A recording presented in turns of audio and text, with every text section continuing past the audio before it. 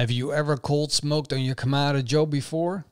It's about time you give it a try. It's super easy and this is all you need to know. You need to create the smallest possible fire. I'm using a few embers from my fireplace and then I add some wet wood chips and keep the airflow as high as possible. I'm smoking a beautiful piece of Wagyu and I'm turning it into carpaccio. Look at how good that looks.